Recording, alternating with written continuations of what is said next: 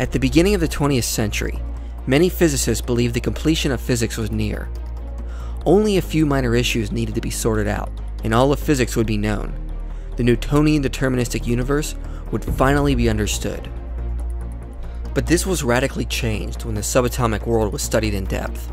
Max Planck calculated that electrons could only radiate in chunks of energy, or in quanta, instead of gradually losing energy over time.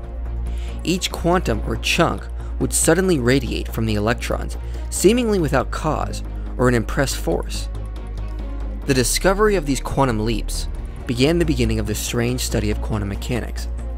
How could these quantum jumps just suddenly happen instead of a gradual decline over time, like what we would intuitively expect? Later on, quantum jumps were found in more and more places, and in more ways. Matter acted far more bizarrely than we expected. Discoveries and equations formulated to explain the bizarre quantum world began to baffle physicists. The universe did not seem to be fundamentally deterministic at the bottom level, but probabilistic. The mathematics essentially described that particles would exist in a state of a wave function, which is nothing more than a mathematical probability of multiple possible states of where the particle could be. But upon measurement from an observer, the wave function would collapse to one position. But that implied outside observers were necessary to collapse the wave function and bring about the physical existence of the fundamental particles that make up reality, which many scientists philosophically could not accept. How could outside observers be responsible for the actual result and the collapse of the particle instead of us simply observing nature to see how it behaves on its own? How could the most fundamental particles of nature be dependent on our observations instead of just acting independently? The famous double slit experiment reveals how odd the rules of quantum mechanics are. Physicists were interested if particles acted like waves or little balls of matter. Using a single slit and double slit experiment, we can determine how they behave. For comparison, when balls are shot through a single slit, they would create a single band on the other side where they land. And when they are shot through a double slit, they would reveal two bands on the other side. However, when a wave goes through a single slit, it would reveal a wave-like pattern with intensity in the middle. And when several waves go through a double slit, they interfere with each other, creating an interference pattern. So shooting particles through a double slit should reveal if they act like waves or particles. In various double slit experiments, particles were fired through a single slit, and the results revealed that particles were acting like waves. The particles go through both slits, and the wave-like properties interfere with each other, causing an interference pattern. However, something strange happened when we tried to shoot one particle at a time. This way, multiple particles with wave-like properties cannot interfere with each other. Even so, when one particle was fired at a time, we still observed an interference pattern. The interesting thing that is happening is each particle is arriving at a specific spot on the back screen, meaning they seem to be acting like little bits of matter, not as waves of energy. However, after several particles are fired individually, an interference pattern starts to emerge. But how could that be if they are going through individually and not interfering with each other?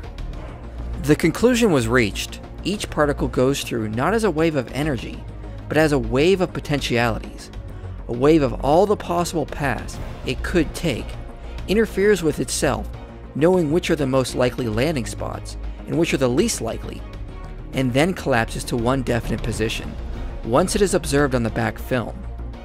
In other words, all the possible paths exist simultaneously in a mathematical sense until the particle collapses to one location and it's observed on the back film. So physicists attempted to figure out what was happening at the double slit. They placed a measuring device there, but when they did this, the particles changed how they behaved and acted like tiny balls, revealing a pattern of two bands. The very act of observing at the slit, or having knowledge of the path the particles took, caused them to behave differently.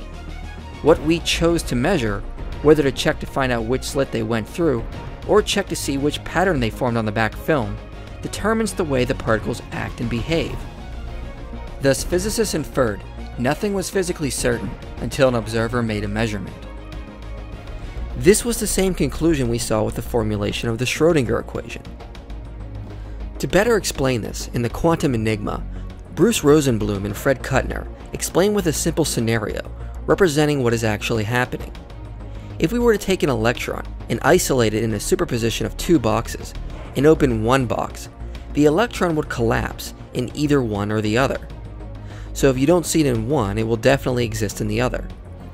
However, if you were to take another pair of boxes and open them both simultaneously, the electron would come out of both as a spread out wave. It would display the wave of potentialities as an actual spread out wave, like what we saw with the double slit experiment when we do not place a measuring device to observe one slit. The key to understanding what is happening is that matter doesn't exist as a wave of energy prior to observation, but as a wave of mathematical potentialities. The waviness in a region is the probability of finding the object in a particular place. We must be careful. The waviness is not the probability of the object being in a particular place. There is a crucial difference here. The object was not there before you found it there. In other words, prior to measurement, experimental results and the mathematical formalism implies there is no physical particle there. Measurement causes the wave function, the mathematical probability, to collapse and reveal the physical particle, but nothing was physically there prior to measurement.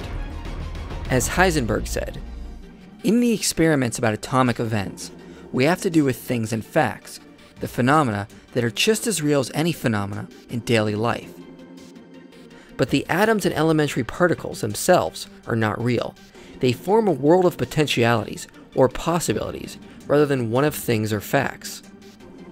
The conception of objective reality of the elementary particles has thus evaporated, not into the cloud of some obscure new reality concept, but into the transparent clarity of a mathematics that represents no longer the behavior of particles, but rather our knowledge of this behavior. Many suggested this may only be the case with really small particles. But later experiments only demonstrated the same results with atoms and even larger clumps of atoms. When Anton Zeilinger was asked where the limit was, his reply was budget. All of matter is governed by the strange rules of quantum mechanics.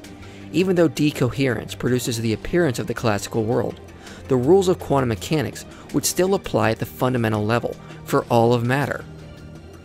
Decades ago, when this was first discovered, many scientists could not handle the philosophical implications. It just seemed too bizarre to be true. Many physicists like Niels Bohr ignored the philosophical implications and encouraged the practical approach to quantum mechanics. In other words, do not worry about the philosophical problems, just focus on the fact that it works. But some, like Einstein and Schrödinger, were deeply troubled by the results of quantum mechanics. So in 1935, Einstein and two of his colleagues came up with a thought experiment to debunk quantum mechanics. They proposed if you place two particles in a joint superposition and then separated them with a great distance, an observation of one would instantly affect the other, which Einstein called a spooky action at a distance. The point was that information between the two could not travel faster than the speed of light. So there must be some sort of undiscovered hidden variable that was actually causing the strange results of quantum mechanics, and not observation itself. That matter acted independent of observation and only appeared to be observation dependent from our perspective. However, in the 1960s, John Bell began to explore this thought experiment and proposed an inequality. If this inequality was shown to be false, then the local hidden variable theories would be falsified and matter would be dependent on observation. This was put to experimental test in 1982 by Alain Aspect, and the results confirmed Bell's predictions. Bell's inequality was violated. This confirmed what quantum mechanics was telling us. Prior to measurement, objects have no defined properties or location. The act of an observer creates the existence of the physical objects and the properties they entail. Who deserves to trust their intuition more than Einstein? And Einstein's intuition told him, like everybody's intuition tells them, that things are really there when you're not looking at them. Well, he was wrong, right? you know, that, that intuition is incorrect. To avoid this, many like John Bell proposed the existence of non-local hidden variables and the existence of Leggett's inequality. However, in 2007, they were also falsified, this time by Anton Zeilinger and his team. Then in 2013, the last testable loophole was closed, showing there are no classes left of testable hidden variables. The collapse of the wave function and the existence of physical particles clearly must depend on the observer, not on some unknown hidden variable somewhere in nature. So recent experiments led by a group at the University of Vienna, Austria, provide the most compelling evidence yet that there is no objective reality beyond what we observe. So it's really the observation that creates the reality. What they found is that Leggett's inequality is violated as well as Bell's. Even if you allow for instantaneous influences, quantum measurements do not fit with the idea of an objective reality. So as they say in, in the magazine, rather than passively observing it, we in fact create reality. And then on top of this, the Kochen-Specker theorem was experimentally confirmed in 2011. The philosophical implications also support the notion physical reality is not there without an observer, as Anton Zeilinger explains. The Kochen-Specker theorem talks about properties of one system only. So we know that we cannot to put it precisely, we know that it is wrong to assume that the features of a system which we observe in a measurement exist prior to the measurement. Not always, I mean in certain cases. So in a sense, uh, what we perceive as reality now depends on our earlier decision what to measure, which is a very, very deep uh, message about, about the nature of reality and about our role in the universe. We are not just passive observers. In other words, the Kochen-Specker theorem confirms the notion reality is dependent on observation. You can't separate observers from reality, like the idea of watching nature play out on a stage. Our actions now very much determine the results, especially the collapse of the wave function and the existence of particles in their physical form. This only correlates with the conclusions of this study, which shows objectivity, determinism, and independence combined are incompatible with any theory about the universe, and not only with quantum mechanics, but with classical approaches as well. In other words, you can't have a universe that is objective, deterministic, and also independent from observers, as we once thought. All the data has confirmed this through multiple experiments, that reality is dependent on observers. Whether it is the interaction free experiments, Cheshire Cat experiments, delayed choice quantum eraser experiments, with subatomic particles or even atoms, or even non local delayed choice quantum eraser experiments, where the measuring devices were separated by several kilometers. All this has led to the conclusion that physical reality is dependent on there being an observer to collapse the wave function. Now, as we said earlier, many have suggested and still attempt to say this is only true of the quantum world, but not the macro world. Pragmatically, this is true, but it doesn't change the fact that everything is built on atoms, the very particles that are dependent on observation.